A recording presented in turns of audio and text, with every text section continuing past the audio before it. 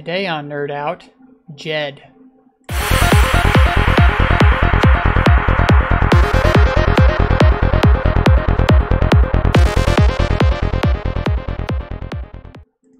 Welcome back to Nerd Out, the show where we take a look at Cardano and we break it down, but we don't dumb it down. Today we're going to be talking about the the Djed protocol that's going to be releasing on Cardano at some point here in the future, uh, released by COTI. So let's jump into it. And I've said this is a discussion and not a deep dive because I'm not a Djed expert. Um, I'm just going to provide some of my thoughts. I haven't dug terribly deep into the math of the paper, but we're going to discuss it anyway. So what is what is Djed? It's a peer-reviewed uh, algorithmic stablecoin pegged to the USD and backed by ADA. So how it works is users send ADA to a smart contract, and then that smart contract mints Djed for them in their wallet. And that Djed is worth a dollar, and then they can always return that to the smart contract and get one worth of ADA, whatever that happens to be at the time. So it'll contact oracles to figure out the, the price conversion. Users can also send ADA to the smart contract to mint a, a coin called Shen. And Shen is the reserve coin, and it maintains the other side of the peg. So it helps keep the peg even when the price of the underlying token ADA fluctuates. And currently, their configuration is the reserve must hold 4 Shen minimum for every 1 Djed minted. So it's a 4 to 1 ratio of reserve to stablecoin. And um, basically, the smart contract will stop minting Djed if the reserve ratio falls below 400%. So if there's not enough Shen or people haven't provided enough ADA, uh, ADA for Shen, then it doesn't allow you to mint Djed. And also on the other side, the smart contract prevents minting Shen if the reserve ratio grows above 800, which is too large. And at that point, it'd be reducing the amount of rewards that Shen holders could get. So it kind of protects Shen holders on that side. And I'll have a link down in the description, which has a, another video from, from COTI that kind of describes how this works a little more visually. I'm not going to go into that, but they, they can kind of describe it. Uh, another thing I wanted to talk about is Cardano Daily. You can find them on Twitter. It looks like Telegram. They put out this the other day on on Twitter. It kind of explains how Djed is different and better than UST. You may have been familiar with the giant meltdown and the stablecoin UST. So on that network, basically you can mint an unlimited amount of uh, Luna as people redeem their UST for Luna. So as people make UST and they burn the UST for Luna, it can cause it to lose its peg, and then Luna just inflates, um, and it inflated to, you know, kind of an infinite exponential amount, and that's kind of what happened a few weeks ago. Is um, basically people got afraid that their UST was going to lose the peg, and that caused a snowball effect of it to lose its peg even further. And so people were like, I got to get out now to at least get something. And so then they ended up with Luna that was continually going down in value.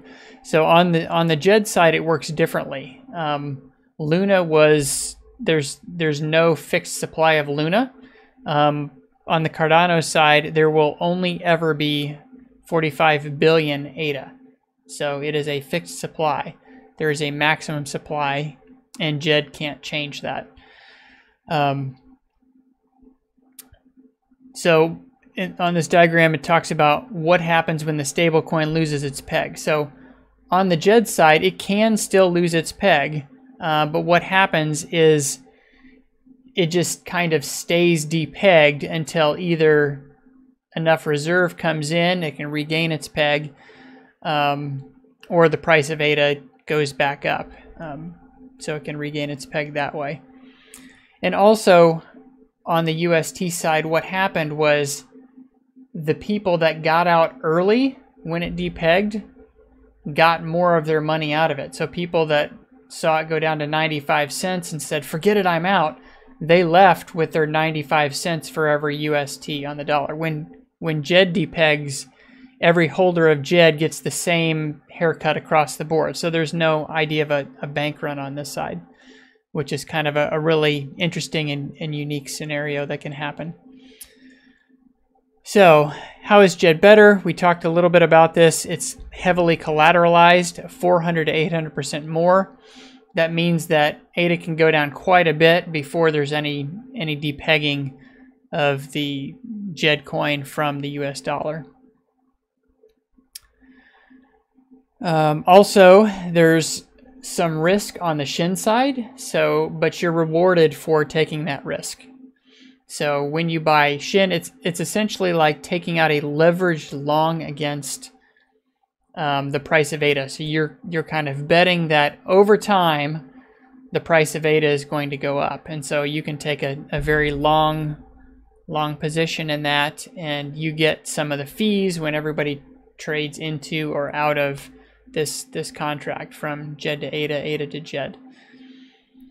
And so I like this chart kind of down in the in the lower right hand corner. It very simply explains what can be done when the reserve ratio is at a given given scenario. So when it's between these ideal peg or ideal reserve ratio between 400 800%, you can mint and burn Djed. You can also mint and burn Shen.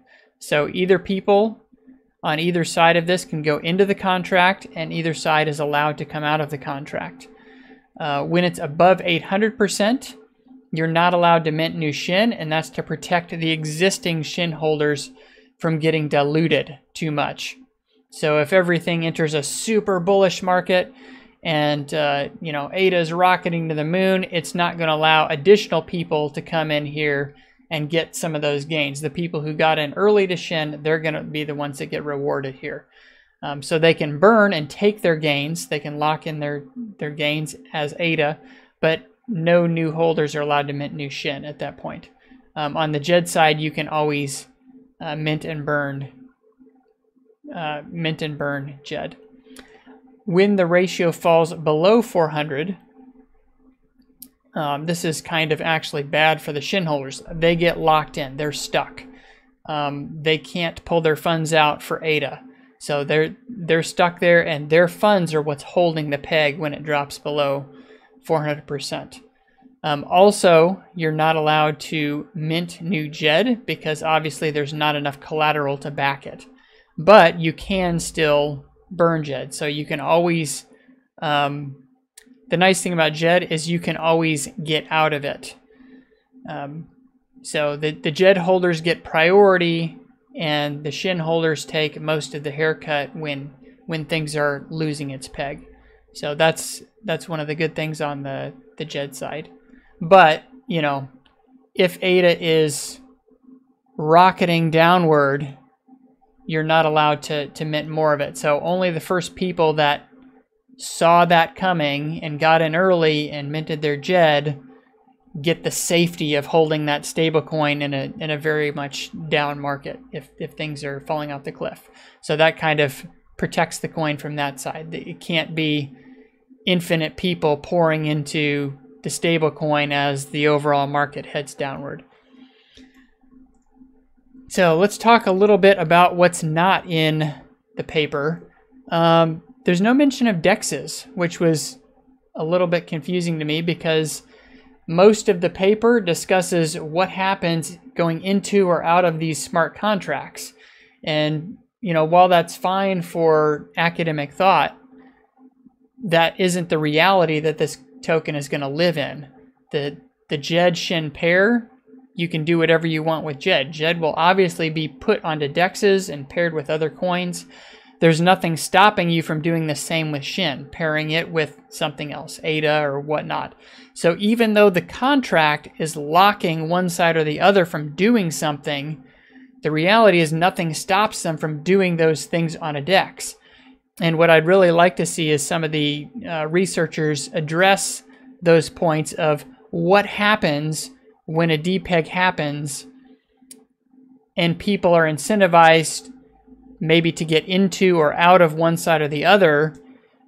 They can't do it through the contract but there's still the ability to do that on a DEX. How does that affect things? Can things go way below, you know, 400%? Or, or I guess on a DEX, maybe somebody will just have way more percentage of what's in the contract because they took their tokens out of the contract, put it on a DEX. They still control those tokens, but then, you know, essentially all the other participants are loading up who's ever left in that uh, that DEX pair.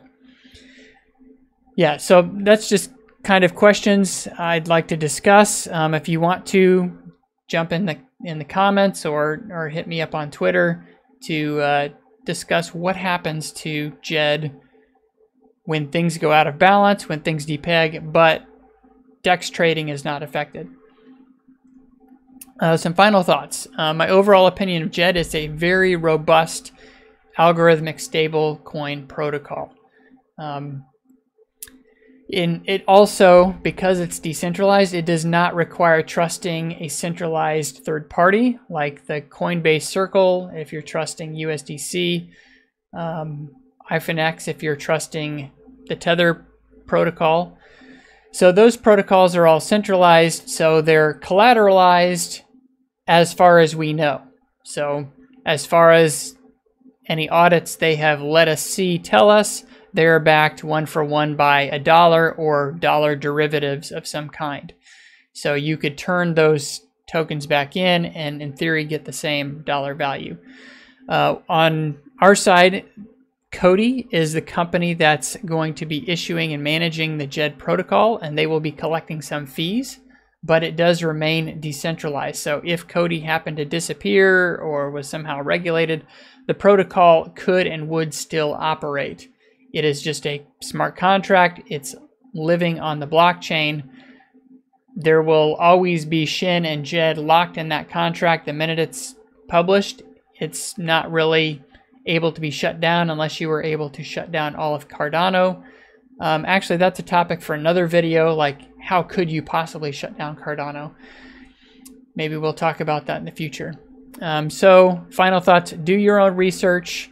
Look at some of the links I've put down below. Manage your risk appropriately. Um, none of these things come without risk.